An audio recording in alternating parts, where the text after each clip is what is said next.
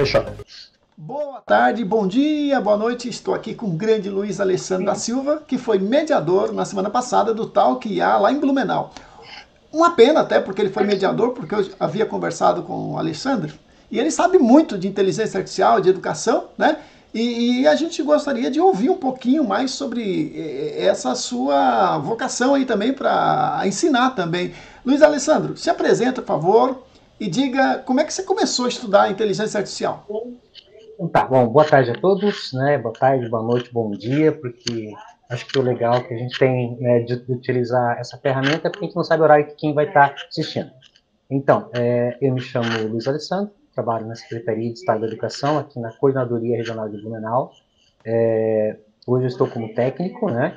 Mas tem uma história já de alguns anos, né? Desde 2017 eu trabalho muito com tecnologia educacional. Eu passei por metodologias ativas, espaços makers, durante a pandemia nós fizemos todo o trabalho com Google, enfim, tem todo um monte, um monte de coisa.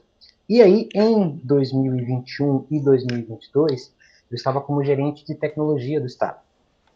É óbvio que a gente tem todo um aprendizado, toda uma informação, e aí eu comecei a estudar um pouquinho mais sobre essas ferramentas. É, 2022, é, basic, basicamente, explodiu é, o chat GPT, enfim, e a partir dali a gente começou, assim, né? Não que já não tinha antes, mas ele ficou mais, mais visível, né? Uh, e aí eu acabei começando a trabalhar um pouquinho mais com essas ferramentas, até por conta de que é, a gente usa isso no dia a dia. Eu, particularmente, uso todas as ferramentas possíveis por conta desse trabalho. Então, comecei a estudar isso né, de brincadeira, né? Eu sou biólogo de formação, não tem, não tem nada a ver com, com TI, mas sempre trabalhei com essas áreas de, de formação. Então, é por esse ponto que a gente começa a estudar. E faz parte, né? Quanto mais a gente busca, mais a gente quer aprender, mais a gente quer se desenvolver. E aí, como a gente já, já conversou é, aqui em Blumenau na última vez, é uma área que a gente acaba gostando, é uma área diferente da nossa área básica de formação, não que a gente não trabalhe com ela, mas você não consegue deixar de trabalhar com ela no dia a dia. Né? Perfeito, Luiz Alessandro. É, tá tendo um pequeno chiado no seu microfone, mas não está dando problema não, dá para entender bem. Deve ser isso mesmo, na própria roupa mesmo, né? É, é deixa, deixa, eu colocar um pouquinho mais para cima aqui, ver se não está batendo. Parou? É ok, melhorou. melhorou? Luiz, é, me conta um, um, pouquinho, como é que foi o evento lá da semana passada, na tua visão? Você foi mediador, né? Tava lá o, uhum. o colega Samuel, também o Anderson, né? É, e, e, como é que você como é que você viu a, a, expectativa das pessoas e mesmo como é que as pessoas, o feedback que elas deram após o evento? Me conta aí. Vamos lá. É, tem que contar um pouquinho da história de como a gente começou com essa, com, com essa ideia. Né? Dentro do, é, do núcleo de educação da CIG, enfim, nós tivemos uma, uma, uma conversa sobre quais possibilidades relacionadas à educação. E aí, numa dessas conversas, surgiu a ideia de falar sobre inteligência artificial, né? Não é somente eu que trabalho ali, com a, que brinca com... Digo brinca porque a gente acaba usando no dia a dia, né? Não somos profissionais da área. Uh, e a gente começou a falar, vamos trabalhar, vamos, vamos trabalhar. Aí surgiu os nomes, né? Desenvolvemos todo o nosso roteiro. E aí começamos a fazer essa, essa divulgação. Nosso público, ele é especificamente de professores, né? A grande maioria são professores que estão em sala de aula ou nos laboratórios de tecnologia, né? É, e uma coisa que eu percebi ao fim disso, depois a gente começou a conversar, conversa com um, conversa com outro, né? É, por mais que nós já tenhamos, é, a grande maioria ele já tem um conhecimento raso, mas já conhece, a grande maioria achou interessante porque nós conseguimos trazer para eles a instrumentalização de como isso funciona. Porque normalmente, quando a gente fala de, de, é, de IA na, na educação, a gente fala muito de usar ferramenta de programação, é, de usar um, os, chat, os chatbots, de criar os agentes, de usa o GPT, usa o Gemini, usa, sei lá, o Llama, enfim, tem várias ferramentas possíveis ali, é, e aí acaba se voltando para isso. É, eu, durante o desenvolvimento, comecei a pesquisar um pouquinho sobre isso aí. Eu fui para o YouTube mesmo para procurar o que, que estão falando sobre isso. Muita coisa se fala de forma muito ampla e o nosso foco foi algo muito específico. Para que, que serve, como funciona e qual a minha prática no dia a dia. Então, por esse, é, por essa é, trabalho, por esse desenvolvimento né, do nosso roteiro e das falas que combinaram é, muito com a necessidade, o feedback foi interessante. Né? São, eram três profissionais de áreas diferentes, né? É, toda a área da engenharia, que trabalha com uma outra. Né? Tem, tem, tem uma aula, né, uma carga horária específica, usa IA no dia a dia. O Samuel, que é profissional de TI, por mais que ele desenvolve, é um engenheiro de pronto, ele trabalha com programação, então a visão dele da IA é diferente. É, e o outro professor, que ele é profissional de TI. Então ele está trazendo a versão da empresa.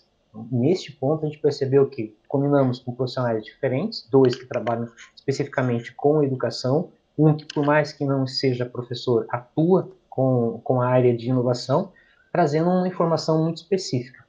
Como eu utilizo e quais as possibilidades. Então, o feedback foi de professores. Cara, a gente precisa ter mais conversa sobre isso. Pô, vocês podiam ter mais, mais tempo, e isso é uma coisa que, é, que no final eu até coloquei, né?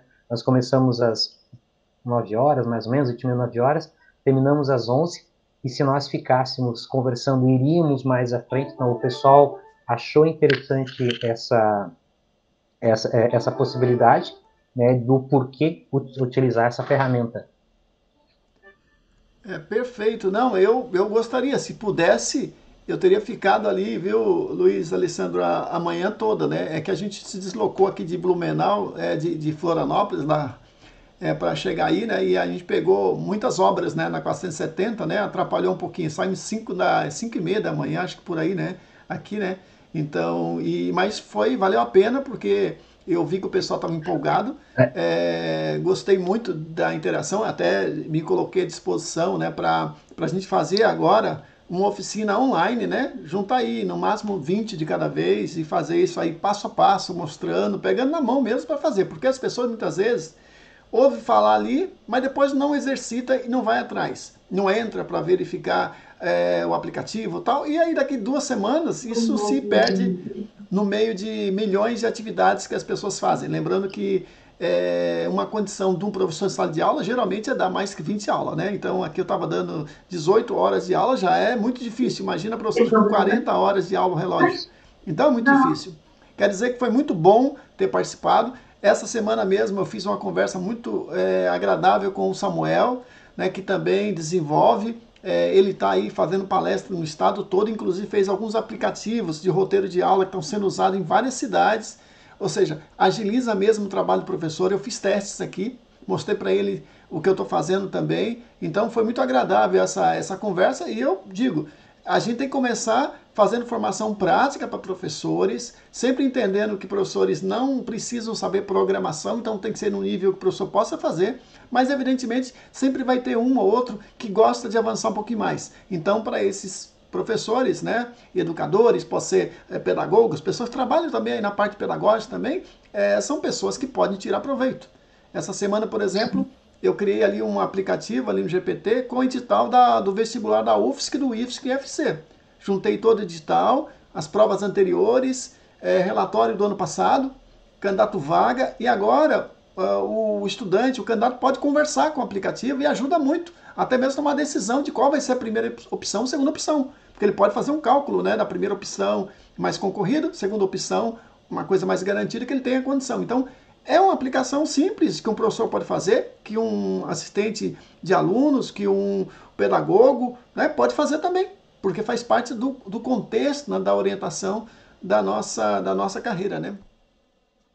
Isso é uma coisa interessante, né, é, é professor? Estava ouvindo você falar que interessar, a gente constrói, nós estamos construindo esse, esses, esses, aplicativos, né? É, mas aí eu quero dar um passo atrás, né? nós já estamos no nível já de construir, de, de né, tá falando de utilizar a ferramenta, já instalei, já estou com o meu servidor funcional, agora preciso colocar ele, ele aberto, mas aí eu fico imaginando, como é que o professor lá na ponta, aquele cara que está começando agora, vai usar? Aí, normalmente, o que, que se usa? Ah, vamos utilizar o chat GPT. É o melhor? Claro que ele é bom, é óbvio, mas existem muitas outras ferramentas para aquele cara que está iniciando. Eu acho que esse é o ponto.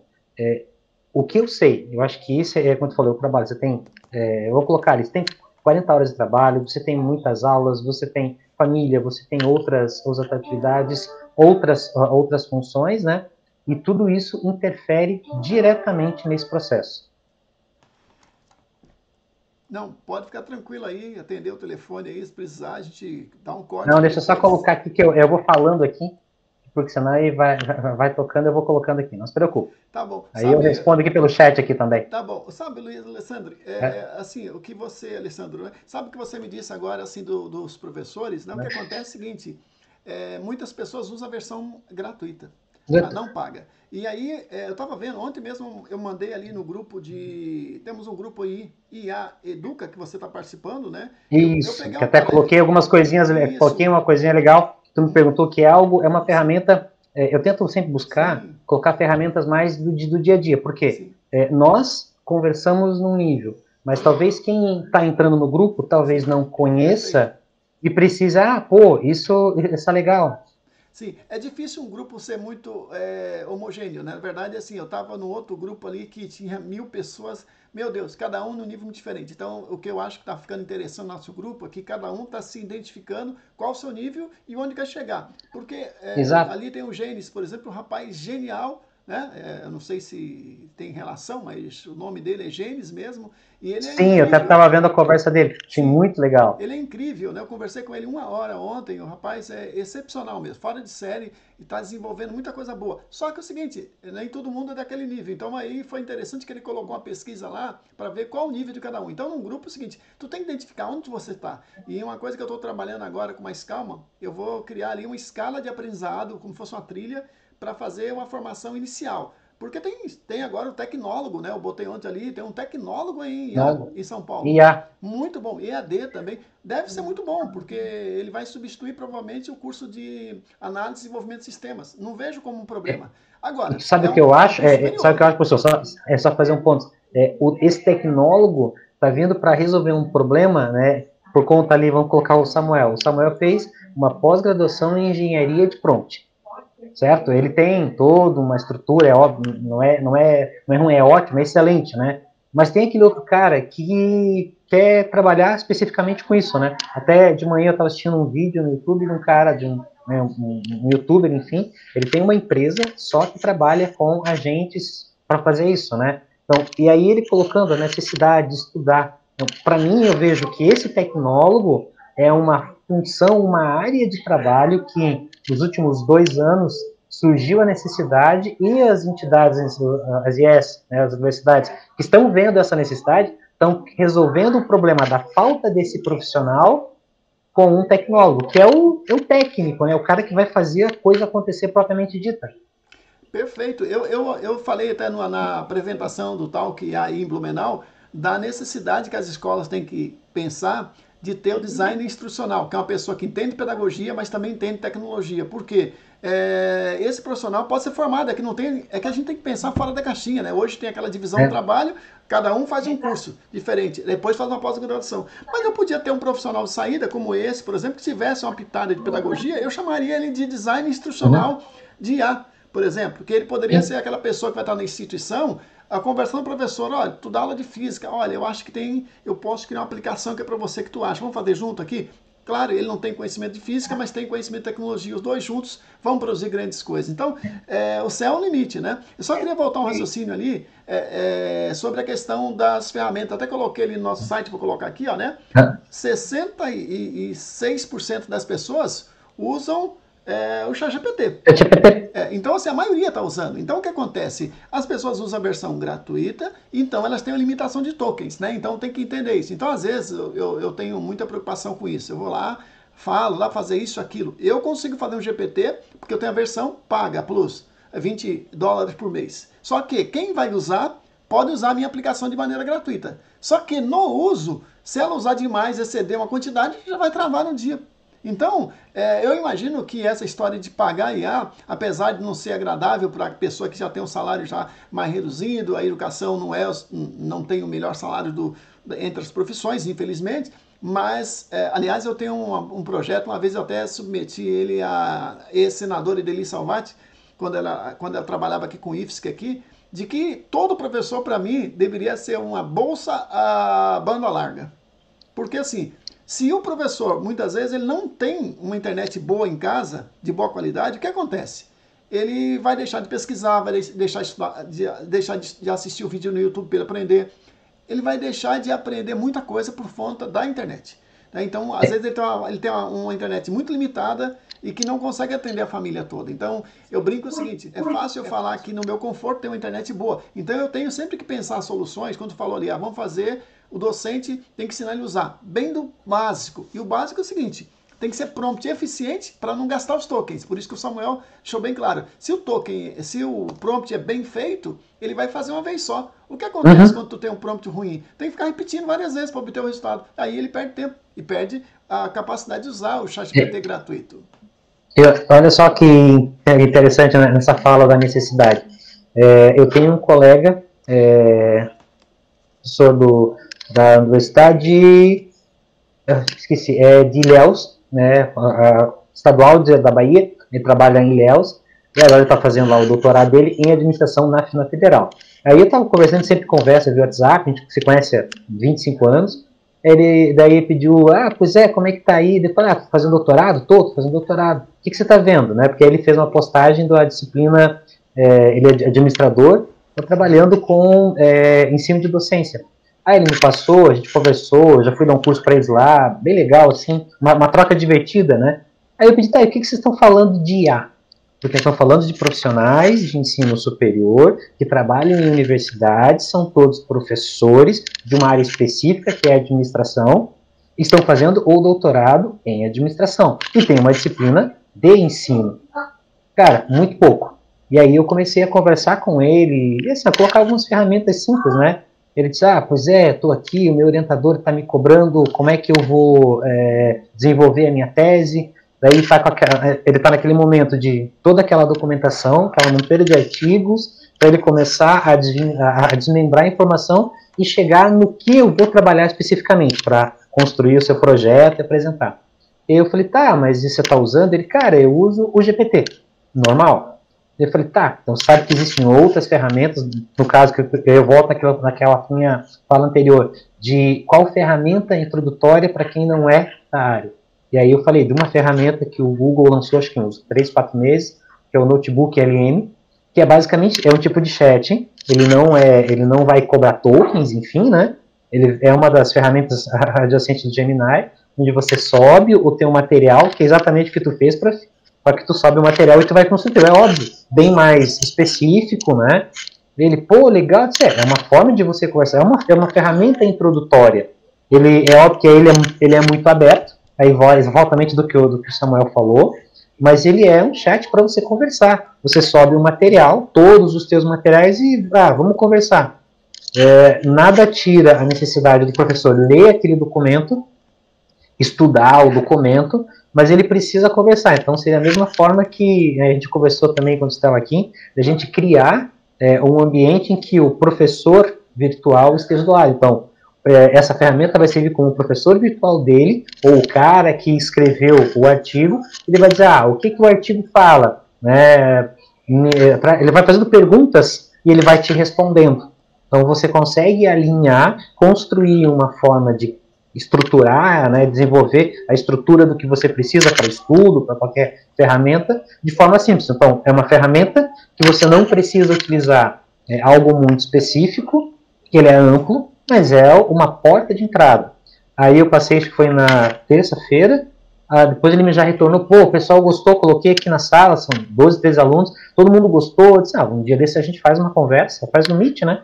É uma conversa, exatamente essa conversa que a gente tem, essa troca, né? Para apresentar, porque não são profissionais que usam no dia a dia. É, e aí, como tu falou, exatamente, acabam tendo outras ações, gera-se um custo, não tem essa, essa, é, é, esse viés de saber o que procurar, porque realmente, né, nós estamos ali dois, três anos, quatro anos estudando, né, para quem é da área da tecnologia está mais tempo, né, eu diria que eu estou aí há dois anos, três anos no mais estudando IA, buscando essas informações, todo dia assistindo um vídeo, vendo alguma coisa nova, e aí, como a gente falou, né, todo dia tem uma ferramenta nova, né, e aí você vai, é YouTube, é Instagram, TikTok, né, que o pessoal brinca, é que TikTok é para dancinha, não, TikTok tem muita coisa legal, né, e tem até um cara, acho que é do, do Rio Grande do Sul, que ele, todo dia ele, é, eu acho legal, assim, ah, o furo da madrugada, todo dia ele traz uma ferramenta nova de IA, e isso é importante para a gente ter essas, essas informações. Não, acho que é isso que, que traz. Não, perfeito. Ô, Luiz Alessandro, é o seguinte, eu quero lembrar assim, na, na apresentação no tal, que a gente disponibilizou né, uma apostila e um curso que a gente desenvolveu aqui com a professora Graciela Pellegrini, do campus Chapecó, de 12 horas, exato. Você pode acessar aí. É uma coisa, é algo simples que a gente deixou para vocês aí, mas que para esse professor que está entrando, porque não adianta, tem um curso tecnólogo, é para um profissional dedicado a isso, um curso mais longo prazo, tem curso no MIT, eu fui ver ontem 3.500 dólares, uma especialização de seis semanas, estava vendo ontem, né? Então, não faltam cursos. Há muitos cursos gratuitos de graça, muitos. Eu posso botar uma lista, inclusive, aqui é, na descrição do site depois, que eu fiz vários. Tem um lá em Leiria, tem no Governo do Paraná, tu tem no ENAP, na Escola Virtual, tu tem curso de no MIT, mas é, no Deep Learning, que é de graça. Cara, uhum. não faltam cursos, tá? É, eu vi, ó, e, é, e olha só, é, eu não me recordo, eu vi isso hoje, tá? É, depois eu também eu vou colocar para a gente colocar ali o link, né? Mas tinha um curso também é, nessas Fundação Vivo, nessas informações. É, pera, pera que eu vou achar, acho que isso é importante. Eu só, eu só tenho que olhar porque eu achei legal. É, não, minto, minto, já, sei, já, já vi onde é que era. Eu tava, é, eu não sei se tu tem, mas eu tenho a carteira de trabalho online. E aí eu olhei, veio aquelas mensagenzinhas, né? É, da, da, carteira tinha lá, é, cadê aqui, ó? curso, ó, quer trabalhar com IA na nuvem? Né? Eu achei interessante isso, porque me chamou a atenção. Aí eu acessei o site ele te dá um curso, né? É uma ferramenta de, de, de cultura digital e ele coloca uma formação de letramento digital, de produtividade, introdução à programação, e aí ele tem IA. Dentro dessa formação tem IA, é gratuita, ou seja, é uma ferramenta que você tem cursos de IA e inteligência artificial é um dos, dos que eles têm. Serviço da OpenAI, é, inteligência artificial é, generativa na nuvem. Módulo 1 é conceitos básicos.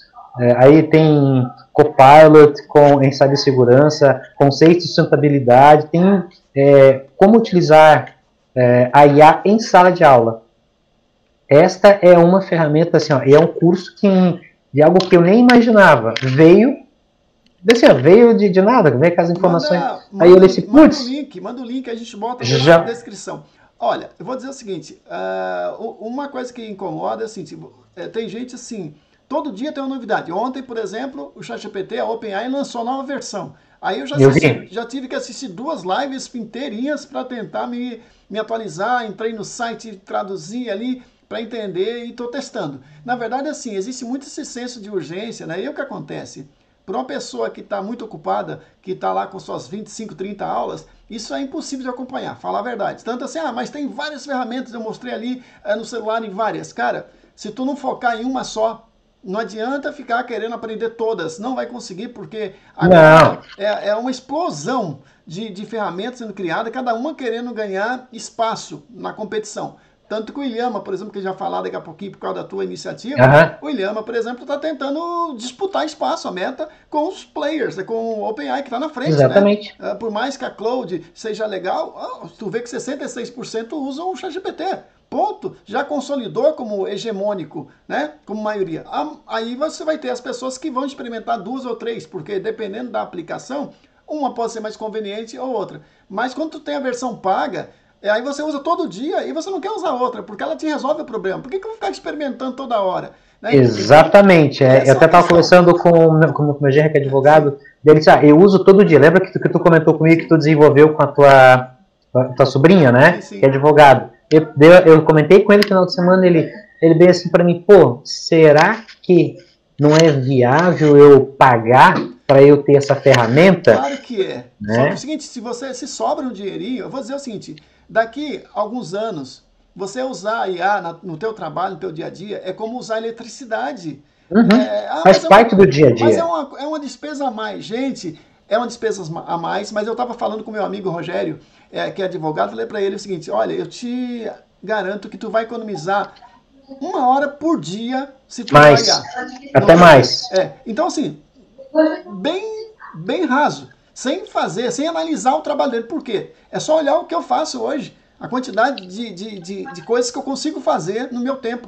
né, no meu tempo de preparação por conta de usar a ferramenta. Então, eu acredito que uma pessoa, é, às vezes ela, eu também não pagava, fiquei um ano e pouco sem pagar, fui pagar a partir de abril. E eu percebi o seguinte, quando eu, eu comecei a pagar, abriram um monte de, de, de portas, coisas que eu nem sabia que existia. Aliás, é muito interessante naquela, naquela pesquisa do Gênesis, né? A gente nem sabe que não sabe. E quando você não sabe que não sabe, aí tá acabado. Tu tem que ter noção da tua ignorância. Por exemplo, eu queria lá aprender reggae porque é, esse tipo de tecnologia pode me ajudar a fazer minhas apostilas. Ok. Só que depois de uma conversa de uma hora com o Gênesis, ele me convenceu que isso aí não vai trazer resultado a mais do que eu já tenho. Porque eu já tenho a versão paga, eu já é, subo meus é, PDFs, minhas apostilas, então meus livros, está tudo certo, já tenho o que eu preciso. Às vezes a gente fica com a ilusão de que tem que aprender tudo. Não! Por isso que eu defendo. Tem que aprender um pouquinho a cada dia, dando um passinho de cada vez, no tempo que tem. Porque é o seguinte, é aquela história. É, as pessoas, é, é, inevitável, como eu disse, a IA, dentro de uma década, se você, ah, não vou usar agora, ok, mas daqui uma década você vai ter que usar porque ela vai estar em, em, em tudo, como a necessidade está em tudo hoje. Eu digo o seguinte, se você usa o Waze, tu está usando IA. Exatamente. O próprio GPS tem IA. Não adianta. Se você usa a Alexa, tem IA. Você usa o celular para autocompletar, tem IA. Você vai lá digitar um texto, ele autocompleta, tem IA. Não adianta, gente. A IA está presente. Se você usa o Netflix, tem IA. Usa o Facebook, a Meta, tem IA.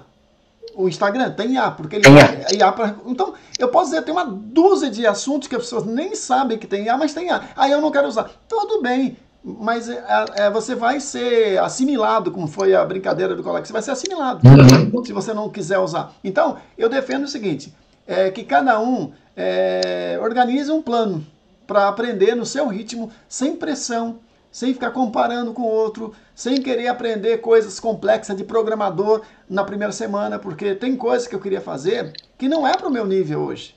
Eu não sou programador, eu não tenho formação de, de computação. Então é que nem eu querer, só porque eu assisti 10 vídeos no YouTube, achar que eu posso fazer a cirurgia. Não, não, não, não rola, né? Então a gente precisa ter humildade, saber onde está e onde quer chegar. E se é, você pode, por exemplo, buscar mentoria. Então, eu, desde o início, eu tenho buscado parceiros. A Graciela Pellegrini, eu percebi que ela tem essa vocação, trabalha com inovação, tenho trabalhado com ela.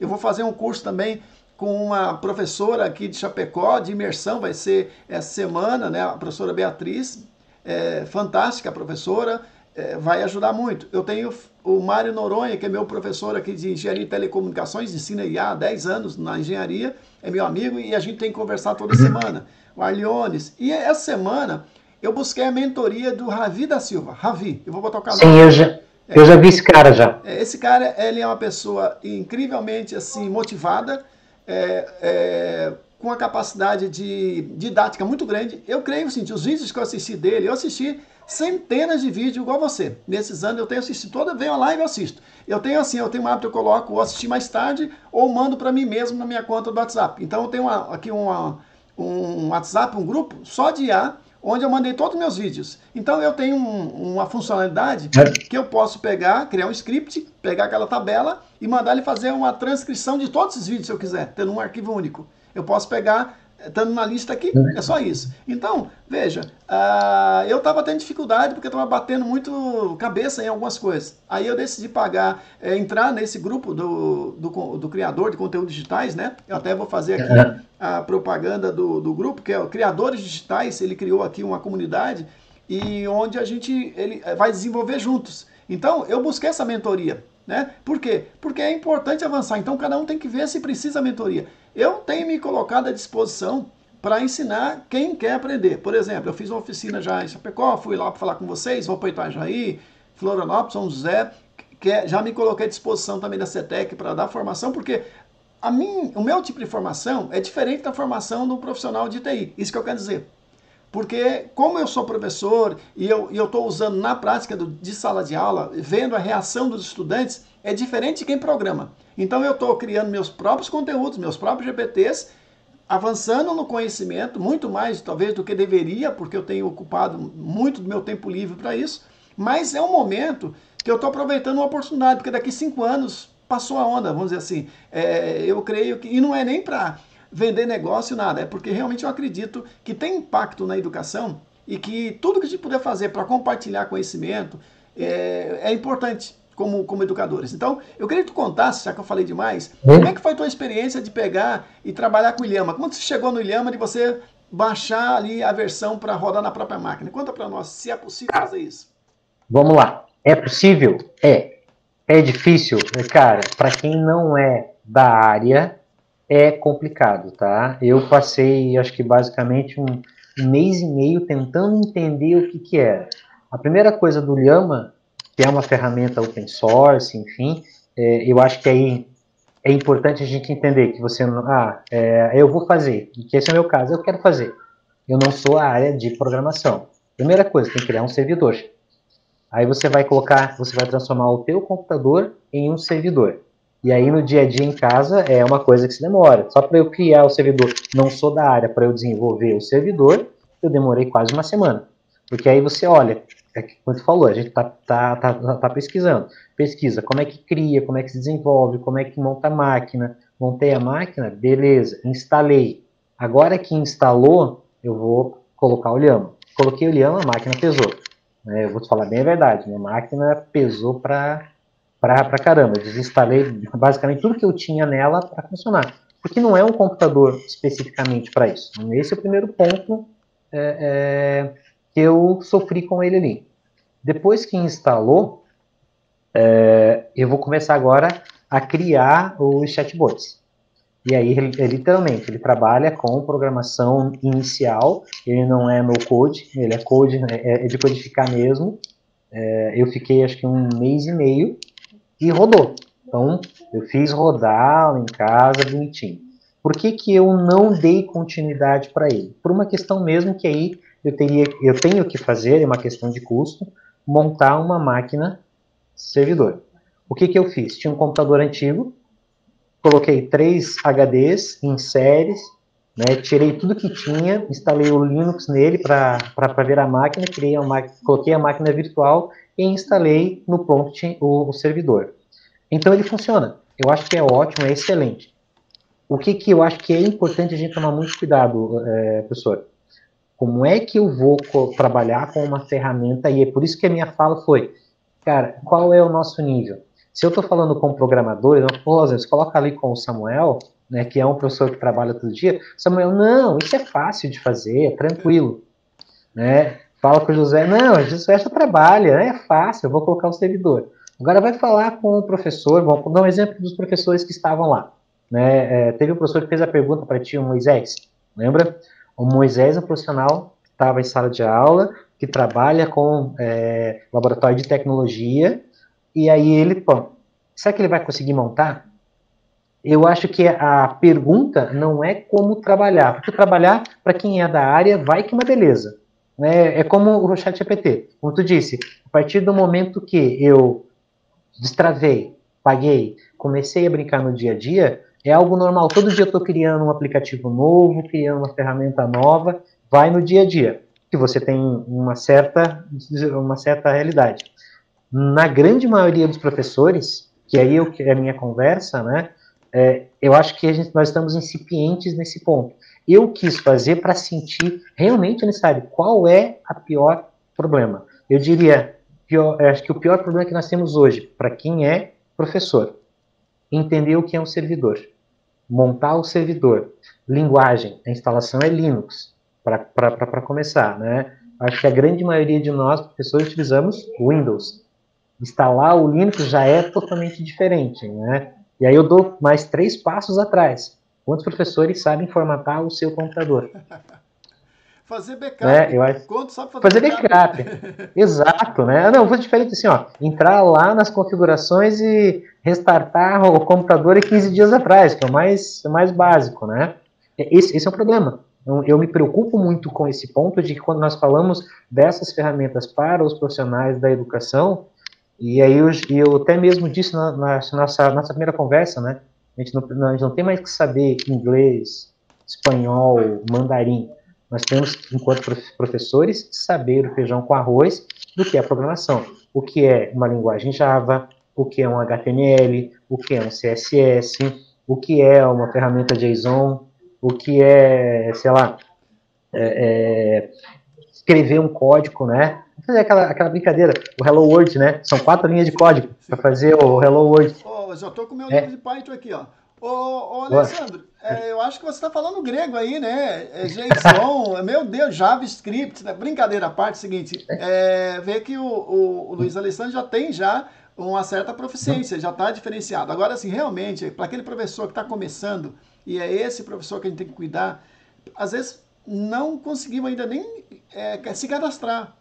Muito mais é, produzir um prompt. Então a gente está falando num nível muito alto, por isso que eu defendo. Uhum. Essa, esse tal que IA é só para motivar. Só que é o seguinte, eu já aprendi isso também em curso de palestras, né? Assim, às vezes você faz um evento como esse. Se tu demorar mais de um mês para fazer uma outra atividade, desculpa, mas já se perdeu a motivação. Perdeu. Essas pessoas perdeu total. É, essas pessoas estão motivadas a aprender. Eu já falei, me coloca, me coloca à disposição, marca um dia que eu posso, eu fico uma tarde com eles, faço questão de ajudar. Aliás, a gente lá sorteou a mentoria de duas pessoas que eu queria fazer, pegar uma tarde com elas, tal. Uma delas eu tenho contato, a outra não entrou em contato ainda. Se ela entrar em contato uhum. com você, por favor, passa meu contato, que eu vou agendar, uhum. eu e a professora Graciela, e vamos pegar essa pessoa, fazer uma oficina online com ela pegar ali três horas bem pelo, pela mão, bem beabá. Que eu acho isso importante. Na verdade, se não tiver um trabalho como esse, não vai andar. Tu vai ter que fazer formações de pequenos grupos. Depois, esse pequeno grupo ter multiplicador. Eu acho que o governo, inclusive, eh, deveria, aos poucos, eh, contratar planos de IA, talvez né? aí, ChatGPT, para cada escola, para cada escola ter umas duas, três contas que possa ser usada pelos professores, tem contas institucionais. Eu penso que, que, as escolas devem ter um professor com carga horária para ser o multiplicador, que possa fazer os cursos, porque nem todo mundo tem interesse e vai ter Exato. Então, Esse é outro problema tem, também, né? É, é, tem que entender que tem vocação. Eu tenho um amigo aqui em São José que ele tá, eu conheço, eu estou há 31 anos, ele não usa computador. E ele faz as provas dele à mão. Uhum. Mas ele é um baita, é um excelente professor. Então, assim, eu não vou criticá-lo. É o jeito dele. Ele não quer usar o computador. Então, vai ter pessoas que eu tenho certeza que não vão querer, querer usar. Vão dizer que ChatGPT vai tirar emprego, que vão falar questão não. ideológica, que nossos dados estão indo para os Estados Unidos. Pode até ser verdade tudo isso. Mas a verdade é que se você usar, você pode, quem sabe, ter mais produtividade. Mas tem gente que não está preocupada com isso. Não, eu gosto de aprender. E eu estou usando IA para aprender mais. Eu quero aprender, aprender meu assunto. E aí você falou de programação. Tem um monte de curso de graça de programação básica. Não precisa fazer Python avançado, JavaScript avançado. Tu vai ali na Curseira, vai no Udemy, né? Vai lá é, é no V2. Mais?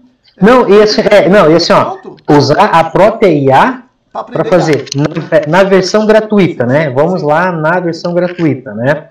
É, que eu acho que é, que é interessante. Eu estava comentando sobre, é, até teve uma das perguntas sobre programação, né? Eu uso o Code para fazer os, os, scripts, porque não sou de programação, por mais que eu tenha feito o curso é, de Python, o curso de Java e o feijão com arroz do, do HTML, eu acabo fazendo, e o Code é ótimo para isso. Né? Pena que a versão, eu uso a versão gratuita, né? Por uma questão financeira, eu acabo, como eu tenho muita coisa, é, eu acabo usando as, as versões é, gratuitas.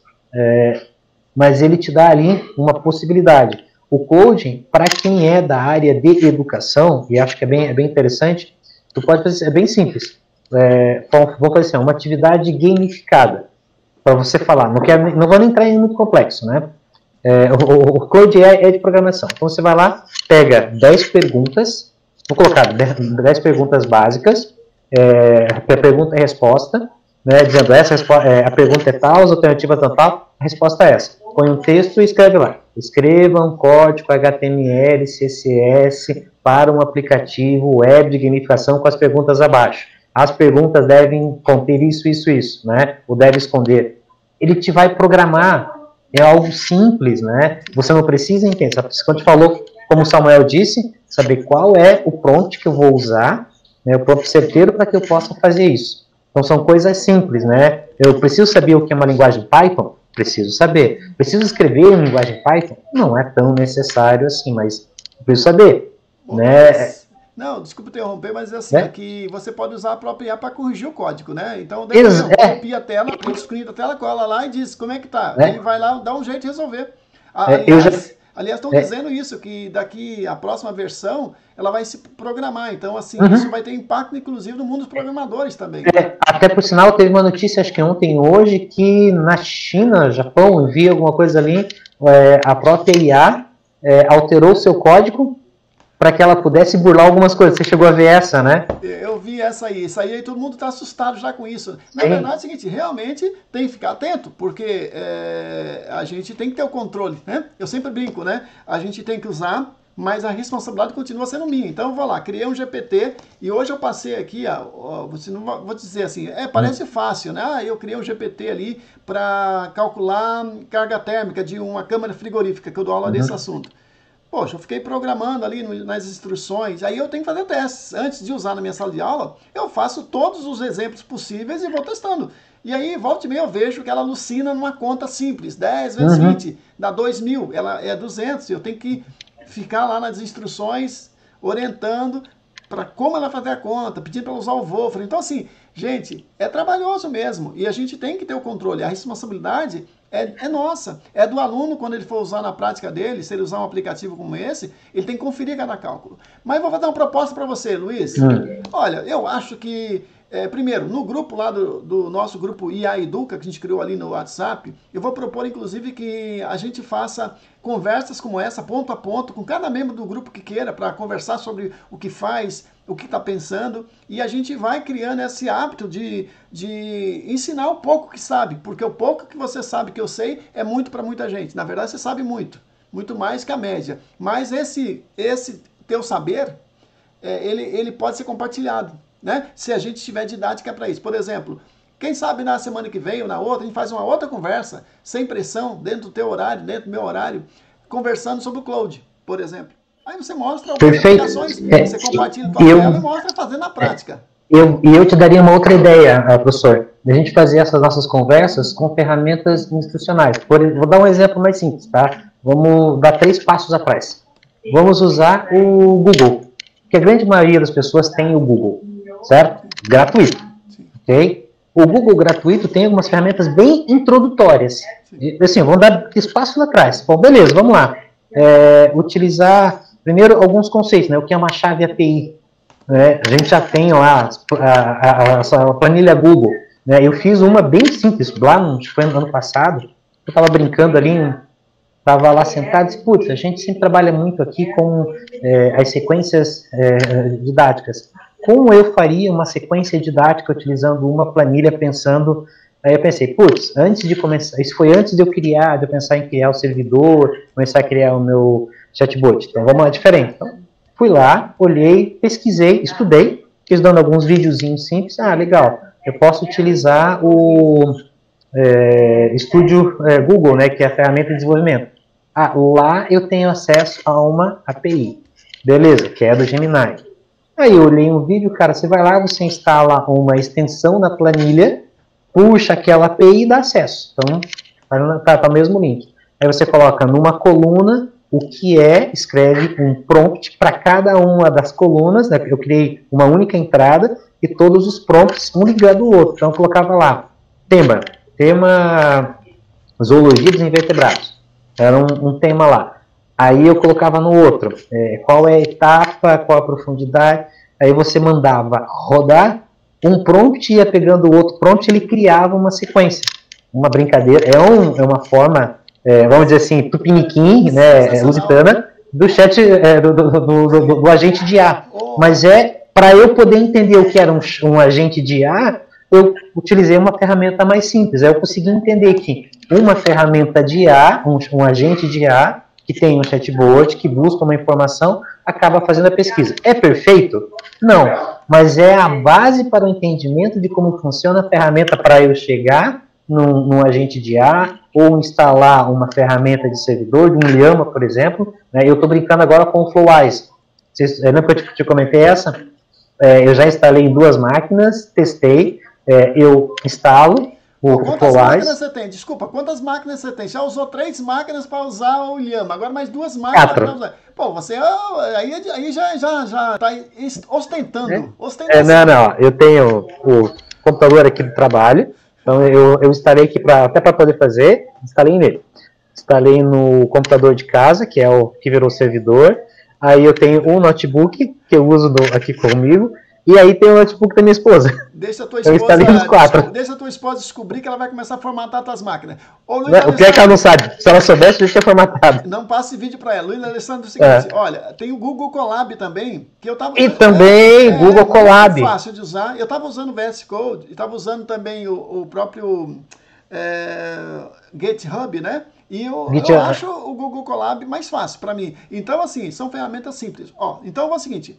Não, vamos dar continuidade, já temos aqui uma hora de uhum. conversa agradabilíssima, gostei muito, para encerrar a semana com chave de ouro. Né? É, vamos marcar uma outra conversa, aí a gente vai fazer uma coisa prática. Você vai mostrar como é que você está usando, por exemplo, essa ferramenta do Google, que eu falei, e eu vou mostrar a ferramenta. Então a gente faz assim, cada um mostra um exemplo só. E a gente vai guardando essas informações para os nossos cursos, que eu creio que você deve estar organizando Perfeito. aí. Você deve estar organizando a capacitação dos professores aí, correto? É você cuida disso, né? É, isso, nós, temos, é, nós estamos pensando para ano Sim. que vem, né, início do ano que vem, essa, essas Se possibilidades. Se você puder é, agendar ainda esse ano, talvez em outubro, para não ficar muito longe, mais uma oficina, uma, uma, uma reunião de duas horas com um grupo restrito de professores da tua rede aí, para a gente fazer uma, uma capacitação mais é, mão na massa, é, eu acho importante não deixar só para o ano que vem, tá? Porque aí perdeu o é. time. É, eu acho que a gente vai, assim, ó, vamos, a gente vai conversando, é, a gente vai. Nós iremos é, conversando ao longo desse processo é, e a gente pode pensar. Tá? Eu tenho alguma, alguns outros, outros professores também de, é, da rede, mas que estão em outras regionais, e a gente pode talvez fazer uma ferramenta como essa online. Eu vou, a gente vai conversando essa semana Sim. e vamos agilizar para que o YouTube a gente consiga fazer uma, chamar vários profissionais de, de, de, que fazem parte, porque aí nesse ponto a gente pode fazer online, fica gravado, Sim. a gente vai colocando o ao vivo para tirar informação, e aí a gente consegue talvez ter, tirar dúvidas, fazer uma, um, fazer um, uma roda de conversa e utilizar é, essa, nossa, essa nossa rede para a gente poder fazer essa divulgação. Mas eu acho muito interessante trabalhar nesses conceitos, do básico, né? Como é que eu uso essa ferramenta dentro da minha área de atuação? Eu não preciso ser biólogo, né, ou ser geógrafo, ou saber de é, engenharia, é, né, de termo, de cálculo, mas eu preciso saber como é que essas ferramentas podem ser utilizadas no dia a dia e fazer o link com a prática do dia a dia. Então isso a gente consegue fazer, isso é bem tranquilo, tá? Perfeito. Aliás, sim, já me fala, me coloca à disposição para ajudar é, creio que vídeos no máximo de 10 minutos, ou seja, faz um, algo, 10 minutos, faz outra coisa, 10 minutos, para que as pessoas possam depois, a gente coloca isso no site, em algum lugar, elas vão pegar o vídeo que ela quer, de acordo com o nível que ela está. Então, eu estou aqui organizando, depois daquela conversa ali com o Gênesis ali, essa uhum. trilha uhum. de aprendizagem. Então, o que, que, eu vou fazer? Eu vou dizer assim, é, o que, que você quer fazer? Então, para você fazer, você tem que fazer isso, isso e isso. Tá. Exato. Onde você está? Isso aqui eu já sei. Então, assim, vou criar um. Eu estava criando ali um questionário que eu estava fazendo ali com o ChatGPT, onde a pessoa, ao preencher o questionário, conversando com o ChatGPT, ela vai dizer mais ou menos o nível dela. E aí o ChatGPT vai orientar qual seria o itinerário formativo. Aliás, na conversa com a professora Lourdes, né? Uh, depois que saí daí, eu criei aquele lá que como eu aprendo melhor usando ali o método é. de aprendizado, de estilo de aprendizagem, do corpo, e um monte de, de técnicas que eu vou usar na segunda-feira para meus alunos. Eu quero chegar, vou aplicar com eles para que eles primeiro identifiquem o estilo de aprendizagem deles. Eu não preciso customizar a educação para cada um dos meus 25 alunos, mas eu posso dividir em quatro, cinco grupos. E cada um dos cinco grupos eu consigo produzir conteúdo diferente se usando a tecnologia. Algo que era impensável há alguns anos. Isso já facilita muito o trabalho. É, olha, olha, olha só, professor, já, já, já tem um convite agora. Eu estava olhando aqui na agenda, no mês de outubro, eu tenho um horário de formação que talvez a gente vá conversar, que são professores, tá? É uma formação que eu fui convidado para se trabalhar. Eu vou montar e a ideia mesmo é trabalhar isso, né? Uma sequência didática Sim. usando ferramentas de AI. Então a gente vai trabalhar online, com formadores. Faz online, que até lá eu pretendo já ter aí pelo menos uns 10 vídeos curtos de 10 Perfeito. minutinhos. Eu vou ensinar a pessoa a usar um, um, que nunca usou o Google Colab, vou fazer passo a passo. Uhum. É, nunca usou o ChatGPT. passo a passo. Nunca usou o Gemini, nunca usou ali o William. vou fazer um para cada é, um. O Google, é. o próprio Google é, API Script, o API Script, que é algo simples, né? Sim. Que você coloca ali três, que já está linkado nas ferramentas, é, Ecolab, o Llama, o Cloud. Como é que cria uma API? Que é uma coisa básica. Uhum. Mano, vai lá, tem API de graça. Claro que tem a da OpenAI lá, eu paguei lá 5 dólares lá tal, mas nem usa muito, eu uso o Mini ali, não gasta tanto para meus meus testes aqui. Então, assim, ensinar a pessoa o que, que é uma API primeiro, né? né? O que, que Exatamente. é o script, é, o que, que é esse diabo de Python, né? Todo mundo fala. Mas, sim, bem para no chão, né? Claro que você está no outro nível, o Samuel sim, também, o Anderson, sim. mas para um professor, por isso que eu queria fazer mentoria desses professores ali, porque uhum. daí, ao fazer mentoria de um grupo de dois ou três, eu consigo validar uh, o método que eu quero fazer, entendeu? Essa é a ideia. Não, então, vamos, vamos desenvolver mais assim, mas já vamos ficar agendando. Tá Nós vamos conversar, vamos se organizar, oh, vamos obrigado. pensar para a semana que vem já um outro momento. A gente, nem que a gente faça ali de uma hora, e momentos, depois, depois a gente faz os cortes daí. Fechou. Obrigadão, tá? Tenha um grande final de semana, tá? Estou à tua disposição. Parabéns aí. Pena que você não conseguiu também ali é, participar da palestra, porque ficou, ia ficar muito curto o tempo de fala uhum. de cada um, mas é, vamos divulgar o teu trabalho. Aliás, ali eu brinco, a gente tem que fazer aquele seminário de novo para gravar com alta qualidade, porque ficou ruim a gravação. É, né? é então, o som não ficou legal, a imagem não ficou legal. É. Mas a gente, assim, ó, que a gente conseguiu na hora, pelo menos, Sim. extrair a informação, já é alguma coisa, né? Sim. Eu, eu falei pro Samuel, Samuel é o seguinte, vamos marcar um outro horário para eu gravar eu e você.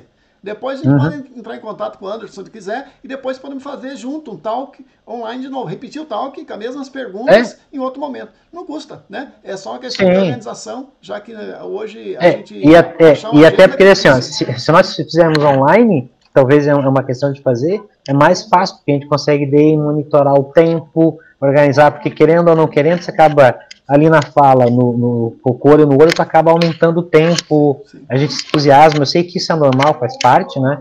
A gente consegue colocar uma gravação de uma hora, nós conseguimos fazer a abertura, utilizar as mesmas perguntas e gerar um calque. Sim, e aí a gente pode fazer, como você falou, os cortes, né? Que a gente acaba uhum. não fazendo tanto, porque aí tem uma questãozinha de edição, mas eu acredito que se você fizer bloquinhos curtos de 8 minutos cada um, não vai cansar ninguém. Cara, tu tem 10 minutinhos, assiste isso aqui. Ah, Sim. Faz é, eu acho que é. Os vídeos são todos de 10 minutos. 10 minutos de vídeo, é, 12 minutos de vídeo para a ferramenta, é, o que é, para quê, como é que faz. Fechou a bodega, rapidinho. Sim. Fechou. Obrigado mais uma vez. Valeu, até mais, conversamos. Valeu, obrigadão. Valeu, tchau, tchau.